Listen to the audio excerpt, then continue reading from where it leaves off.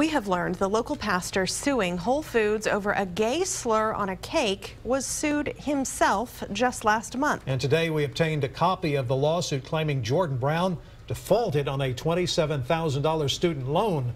KXAN's Erin Cargile spent this afternoon and the evening trying to reach Brown and his attorney. That's right. Here is the student loan lawsuit that we got from the Travis County Clerk's office today. I just called Brown again right before this newscast. His phone is still going straight to voicemail. I've also emailed, sent a Facebook message, and we've left multiple messages with his attorney today. You know, we have not seen or heard from either of them since Monday when they called this press conference to get the cake story out.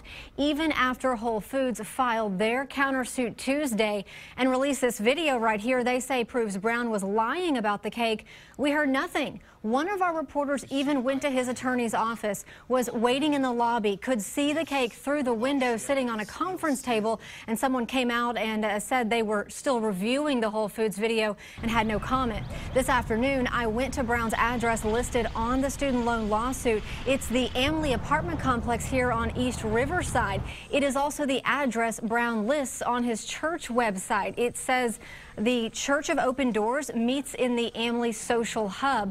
While we were getting these shots of the outside of the complex, a manager walked out and told me Brown's church does not meet there. Now, as far as this student loan lawsuit, it was filed March 11th claiming Jordan Brown stopped paying on a student loan for the 2007-2008 school year at a university in Pennsylvania, which is his home state.